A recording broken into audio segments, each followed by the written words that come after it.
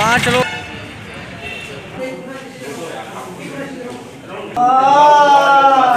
Sir ये बताइए ये बताइए थे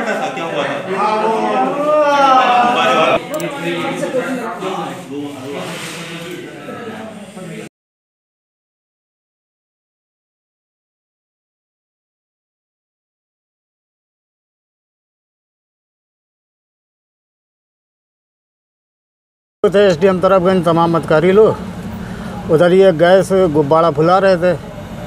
कहीं दुर्घटनावश गैस फट गया। ये दो लोग काफ़ी चोट हो गए इनको लेकर। एस डी एम तरफगंज की गाड़ी से श्री राम हॉस्पिटल आए हैं।